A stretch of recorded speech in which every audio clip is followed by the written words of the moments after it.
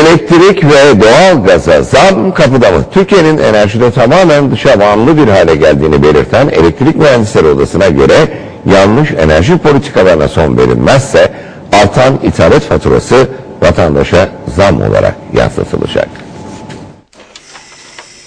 Türkiye'de enerji fiyatları alarm veriyor. Enerjisinin neredeyse tamamını ithal eden Türkiye'de 2011 yılında elektrik, doğalgaz ve petrole 54 milyar dolar fatura ödendi.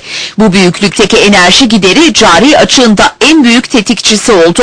Elektrik Mühendisleri Odası Başkanı Cezmi Göltaş'a göre yanlış enerji politikalarına son verilmezse zam kaçınılmaz.